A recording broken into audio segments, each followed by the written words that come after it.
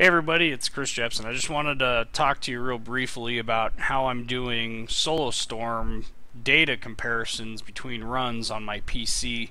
And if you remember in my last video, I did a comparison between Brian Meyer and Justin Eccles in my car versus Brian in his car on the different effects of the front and rear sway bar setup for the Mustang and autocrossing.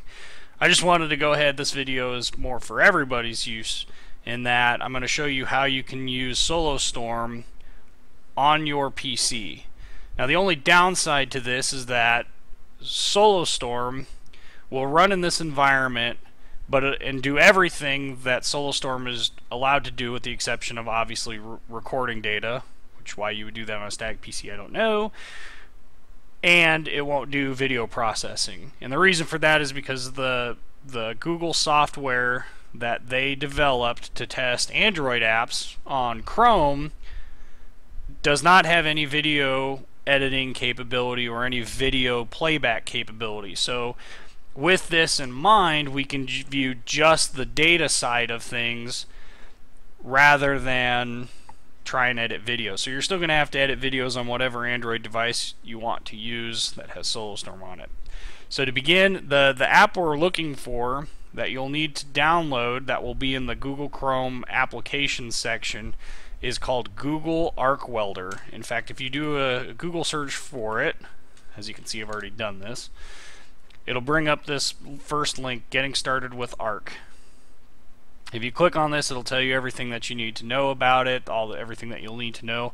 The one thing that you will need is you will need the, the APK file from SoloStorm. You can actually download the latest APK file for SoloStorm from Petrel Data.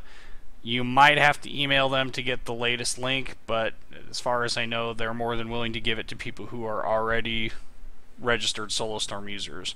So you need that APK.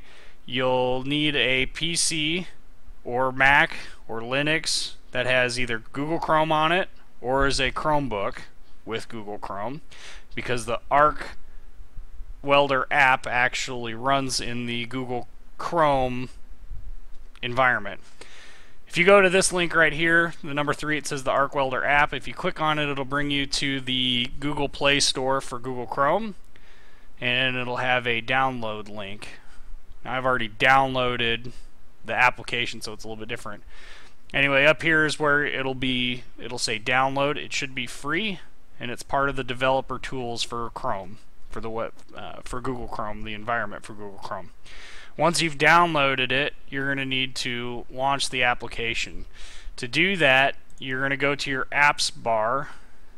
You're going to see the thing that says Arc Welder. It'll bring up this, and this is when you'll need your APK file add your APK, add it, hit open, it'll bring up this, and then you're going to hit test. All this other stuff is basically developer tool stuff. It's really irrelevant to what we're trying to do with data. If you're really all that curious about it, Google has pretty good documentation about how to use some of this other stuff. We don't need it. Because I've already installed my SoloStorm APK, I'm not going to, to hit test on this. You guys go ahead and hit test. I'm going to launch my app directly from the app bar because it puts it in there. So once you've once you've loaded it up, you're going to get this screen with the typical warning about racing's not safe, you know, all this nonsense. You can skip right past that just by clicking. It, uh, if you go to settings, you'll want to go to license and you'll want to go ahead and enter in your SoloStorm activation key and email address. I've already done this, so I'm not going to do it again. When you come back, you'll see it still says logger off. Once you've gone ahead and activated this product, you'll be able to access the Google Cloud. And this is the only way that I know of to get any of the logs from your Android device to your PC is through the cloud. Uh, if your cloud storage is full, you can either up upgrade the the service when that ever, whenever that happens, or you can just remove old logs. Again, because we can't use video, if you try and use video, the app will actually crash, and that's kind of frustrating. So when you download the logs from the cloud, make sure you unclick the download with video options. You don't want either video because all it will do is cause the app to crash. In this case, it's got my day two spring nationals runs, mine and Justin's that I uploaded to the cloud on there. By the way, you can actually access the, the full cloud services. You have full internet access through this, so you can actually go to shared with me, and it's going to go through the process of finding other people's. I think Sam Strano had his up there. Uh, Brian Meyer had his day two fastest run up there. Yep. So we'll go ahead and download Brian's as well.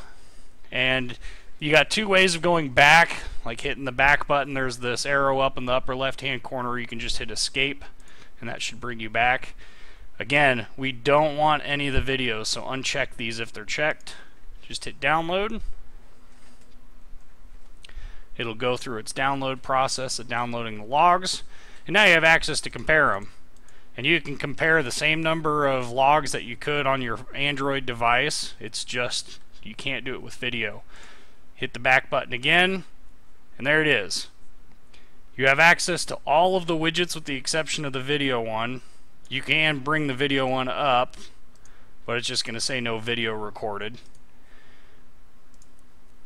But you can do the full analysis from this screen then on your PC, which if you're like me and don't have an Android tablet, this helps me do data analysis after an event. I try and do all my analysis on my phone, which is what I'm using to record everything at the event. I try and do that between runs if I if I have time. Local events I don't really have the time.